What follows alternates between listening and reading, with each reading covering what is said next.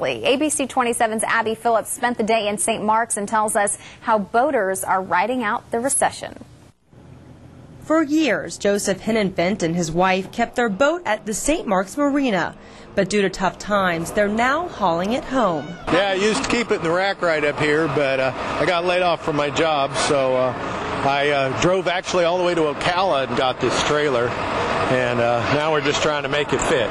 While storing their boat at the marina is convenient, it's just not affordable for them anymore. For a boat the size of mine, it's roughly $180 a month, which is reasonable. I'm not complaining. It's just more than I can afford now that I don't have a job. It's an unfortunate situation now reflected on the river. This dock, once full of life, is now full of boats up for sale. I've seen a lot of for sale signs. I guess it's a crunch.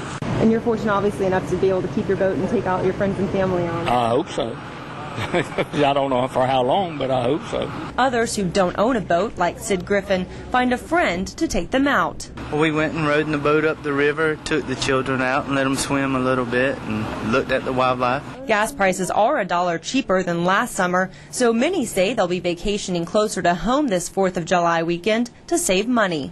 We're going to go to Carrabelle and stay the couple nights there and go out in the boat. But for Joseph, he's enjoying what may be his last ride for a while. Yeah, we took it out for a ride, tried to do a little fishing, didn't do any good.